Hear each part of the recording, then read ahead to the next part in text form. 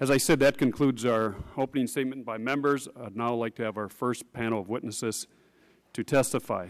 First, we have Mr. Jeffrey Almer of Savage, Minnesota, whose 72-year-old mother Shirley died after eating salmonella-contaminated peanut butter at a nursing home. I should also note he has a photograph of his mother that I'm sure he'll explain to us as we move on. Mr. Lou Tousignant of uh, Minneapolis, Minnesota, whose 78-year-old father, Clifford, died after eating salmonella-contaminated peanut butter at a nursing home. And Mr. Peter K. Hurley, a police officer from Wilsonville, Oregon, whose three-year-old son Jacob was severely sickened by salmonella after eating Austin crackers. It's the policy of this subcommittee to take all testimony under oath. Please be advised that you have the right under the rules of the House to be advised by counsel during your testimony. Do you wish to be represented by counsel, gentlemen? No. Okay. Everyone indicates no. Then I'm going to ask you to rise and raise your right hand, take the oath.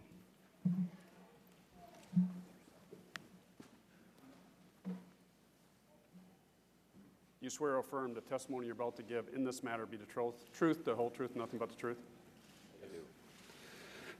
Let the record reflect that witnesses replied in the affirmative. You are now under oath. We will begin with your opening statement. If you don't mind, Mr. Allmeyer, would you begin, please? Five minutes opening statement. And we appreciate you all being here and coming here.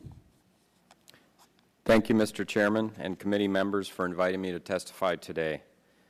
My name is Jeff Almer, and I'm here today on behalf of the family of Shirley Almer, my mother, and as a member of STOP, Safe Tables Our Priority, a nonprofit organization that represents foodborne illness victims nationwide.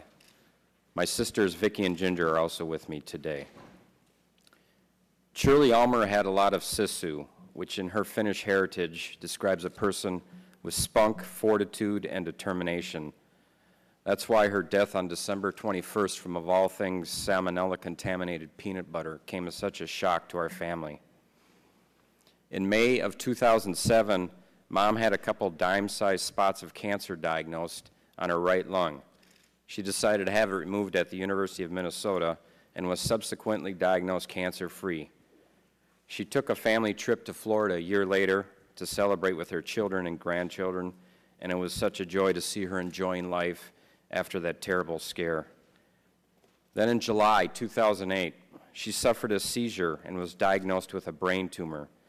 The prognosis was hopeful, and she was determined to do whatever it took to beat cancer for a second time. A second seizure robbed her of movement and speech capabilities. She underwent brain radiation and a gamma knife procedure. She was required to stay at the university hospital but fought back through rehab and regained the use of her limbs and her speech, despite the diagnosis of some doctors. It was through sheer determination and a can do attitude she overcame all of that, never complaining. One of her wonderful rehab nurses told me she was a shining light and said she was absolutely amazed at the recovery. Mom was released in early October to recuperate with her family and was once again declared cancer free. She made plans. She bought Christmas presents. She wanted to get another puppy. She wanted to visit her sister Mary in Arizona, and she was looking forward, forward to being around to watch her grandchildren grow up. Unfortunately, she suffered a urinary tract infection around Thanksgiving and needed to check in short term to a rehab care facility for treatment. Her short stay was supposed to end the Monday prior to Christmas when she would then join the family for the holidays. She began to complain of stomach cramping and had diarrhea.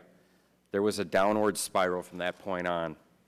Our family was absolutely stunned to learn on the day before her scheduled release that doctors were giving her hours to live. It was very unexpected and equally hard to fathom how she could have gotten to this point. We were devastated as we ended up saying our tearful goodbyes and watching her last breaths on that Sunday.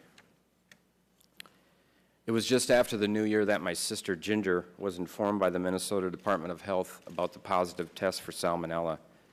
A week before her death, she had unknowingly consumed salmonella laced peanut butter while in her immune compromised state of health. Cancer couldn't claim her, but peanut butter did. Now that we understood the cause of her death, our grief was replaced by anger as we struggled to accept this preventable tragedy. Our family feels cheated. My mom should be here today. Her death and the deaths of seven others could have been so easily prevented if it were not for the greed and avarice of the Peanut Corporation of America. PCA appears to be more concerned with squeezing every dollar possible at the expense of sanitary conditions and sound food manufacturing processes. Every company needs to have a moral and ethical compass when producing the nation's food supply. In this absence, we need a cohesive regulatory system to serve as our safety net. Too often it's reactive, if at all. While they were not expecting to kill anyone, PCA now has the blood of eight victims on their hands, along with the shattered health of a known 600 others, and they've devastated their own community with the unemployment. Their legacy is now that of a company that did what it could get away with until their shoddy practices has led to the nation's largest recall. Their behavior is criminal, in my opinion. I want to see jail time, and I want to see them serve nothing but the putrid sludge they've been troweling out.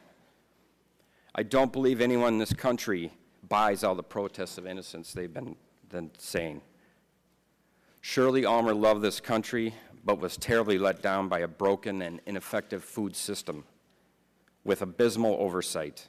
She was let down in the worst possible way by the very government whose responsibility it is to protect its citizens' health and safety. We cannot continue to ignore the public health threat caused by poorly regulated and contaminated foods. We cannot allow food safety to be continually underfunded and expose unsuspecting Americans to deadly pathogens. This brings up many important questions. How much time and money will end up being spent on the act of recalling over a thousand food products? What about the lost productivity and medical expenses for the sickened? When will we have a proactive instead of a reactive system? And my last question would be, when will all these painful deaths and sickness stop being collateral damage? The government and the industry need to work together to correct a multitude of problems. I am proud to be asking for change on behalf of my mother, Shirley, and on behalf of STOP. Although this country has many important issues right now, I'm urging President Obama and the distinguished members of Congress to make the safety of our nation's food supply a priority. It's imperative that Americans trust that their health is not compromised by the food on their plate. We love you, Mom, and we miss you every day. Thank you very much. Thank you, Mr. Ellmeyer. Mr. Tusnell, your opening statement, please. If you want to submit a longer statement for the record, it'll be included. But if you would, please, Mr. Tusnell. Before I begin, Mr. Chairman, could you please uh, start the video over here to my left, please?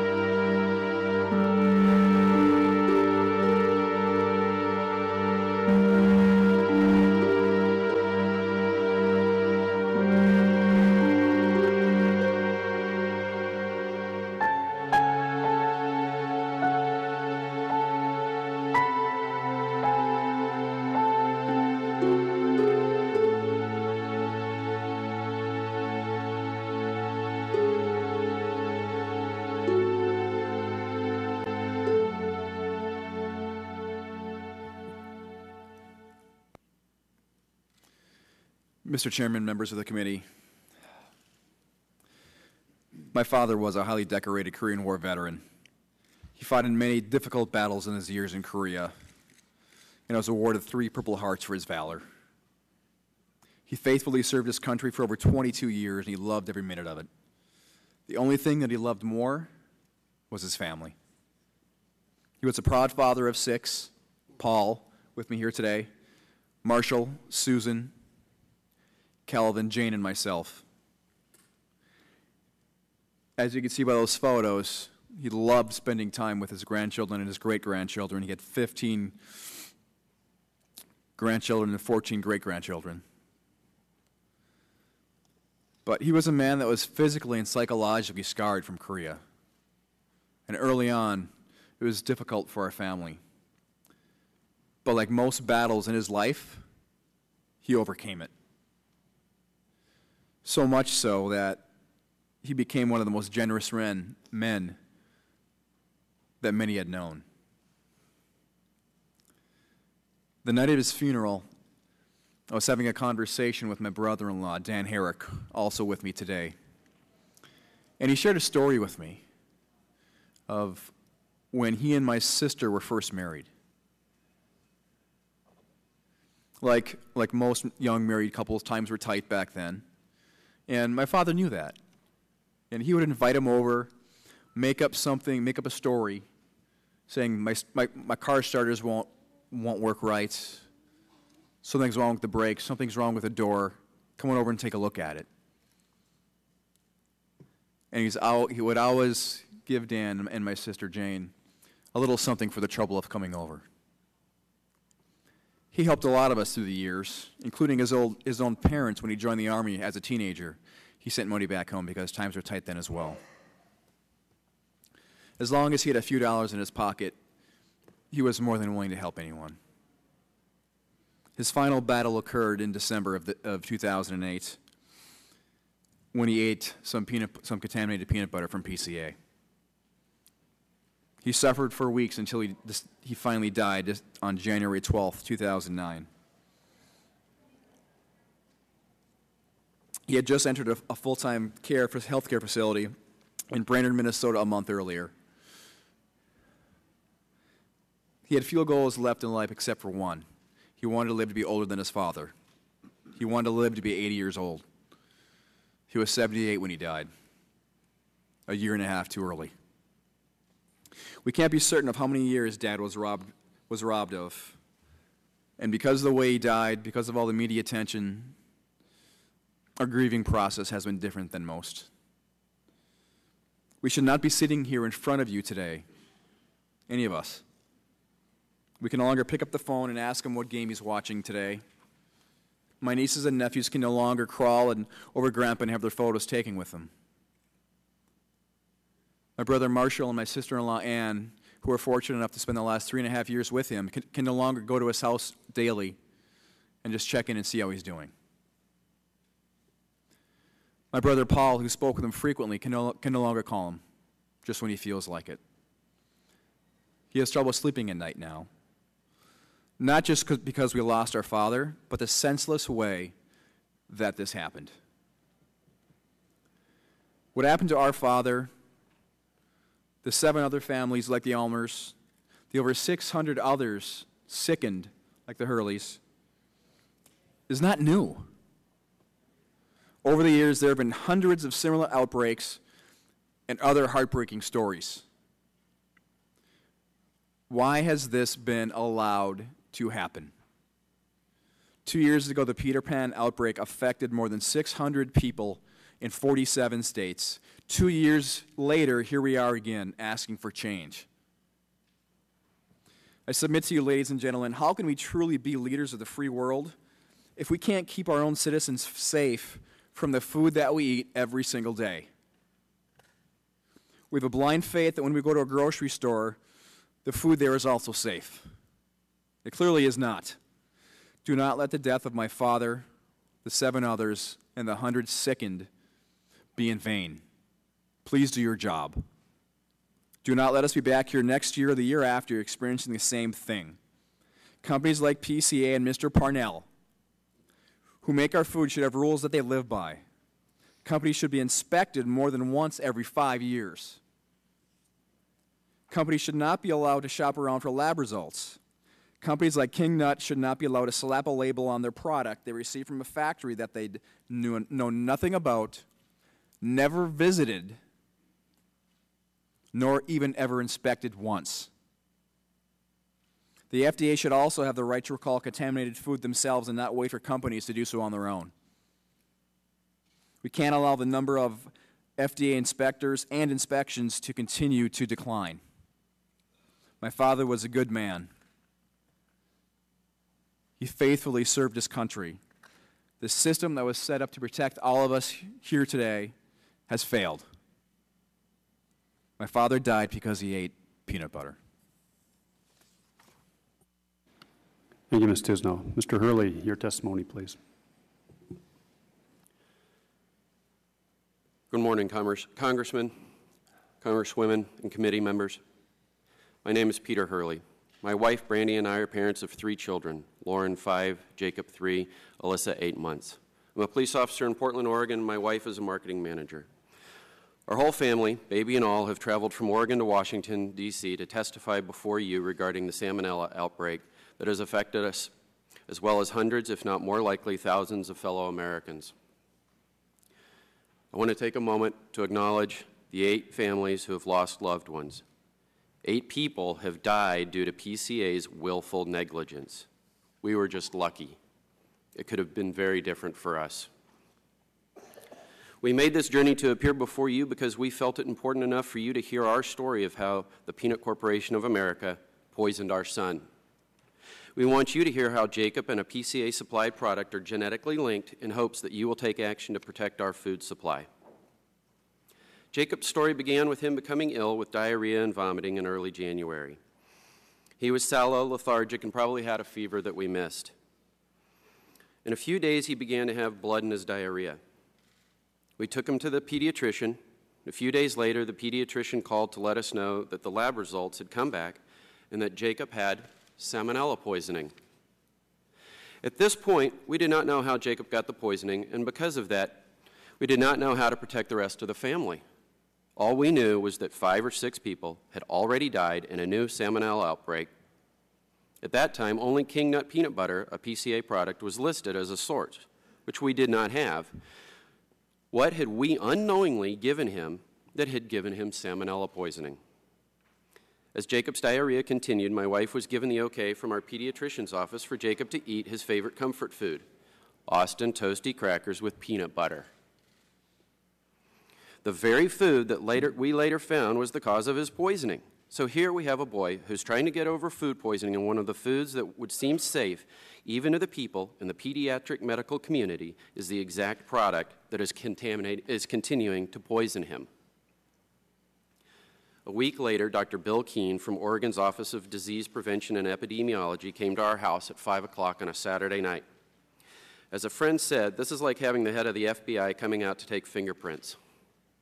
On that Saturday night, Dr. Keene took custody of our supply of Austin Toasty crackers with peanut butter, manufactured by Kellogg's with a PCA product.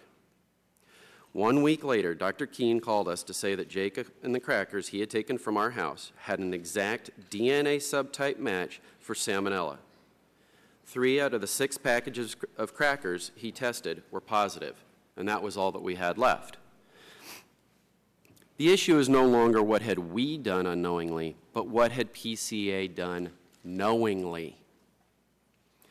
Jacob continued to have diarrhea for 11 days. We had to be extremely vigilant to ensure that there was never any cross contamination between Jacob and Alyssa, our seven month old. If Alyssa had come down with salmonella poisoning, there is a good chance that we would be one of the families who had lost a loved one due to PCA's willful negligence. I have read the FDA's most recent report. This was not an accident. It sickens me to no end that a company and its employees could knowingly allow tainted product to go out the door and into the nation's food supply. Does no one have a conscience anymore? People would be in utter outrage if they heard of a police officer putting a loaded gun to someone's head, pulling the trigger, and then in the horrific aftermath say, I was just hoping that the bullet in the chamber wouldn't fire. We, the United States, are the first world. Have we fallen to second world food status for our food safety? As the woman taking care of our dog while we are here in D.C. said, even my dog is not safe. What is this, China? Where do we go from here? We need to have a faster 911 oriented medical response for food contamination in order to prevent further innocent victims. We need FDA inspectors out there with the authority to stop production immediately when there is a problem. We need the FDA to have the ability to criminally prosecute quickly and effectively. Oregon has the dubious distinction of suffering the first ever domestic terrorism in the United States. It was carried out by the Rajneeshees in the 1980s. They sprayed, they sprayed a salad bar in the Dalles, Oregon with salmonella. If a small group of religious fanatics in Oregon could pull it off, who else could? None of us should be so naive as to think that Al Qaeda could not easily taint our food supply. If the very well funded Al Qaeda could put its mind to it, I shudder to think of what could happen to this country when people do not know where to turn to find safe, uncontaminated food. The panic, pandemonium, and lawlessness would be horrific. I will leave you with my favorite quote by the 19th century author and poet, philosopher Johann Wolfgang Goethe Few men have imagination enough for reality. On behalf of all Americans, my whole family, Jake and I ask you to please have imagination enough to think of the worst case scenario and to work to protect against it. Thank you.